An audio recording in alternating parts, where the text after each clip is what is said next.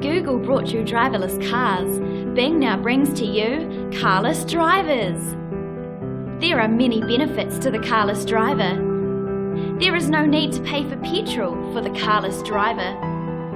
Going to a gig but don't have enough seats in your car to fit all of your mates? This is not a problem with the carless driver.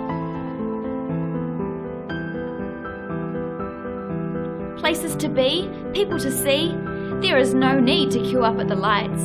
Sneak right up to the front in your carless driver. Can't find a park at uni? No sweat for the carless driver.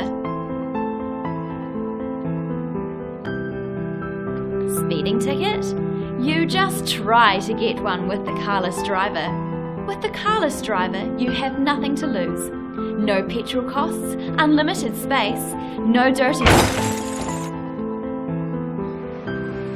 Luckily, he paid for the airbag upgrade.